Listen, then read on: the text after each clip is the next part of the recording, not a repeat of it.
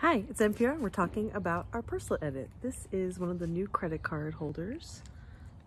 Carries a little bit more.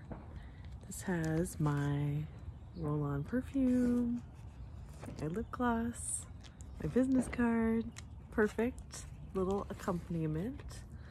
Sits about 40 inches long, so quite long, all powder coated chain black powder coated with some anodized kind of metallic and then a red really nice tomato red uh, matte finish.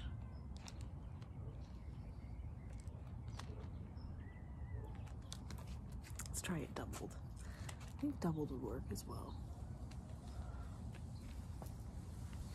Yes as a shorter necklace doubled works great. Then this sits more at about 30 inches around the neck really comfortable. Super cute. Oh, I like this. I like it like this. Also great just as a pendant with nothing in it. it has a little bit of weight because it is bigger, but it feels great.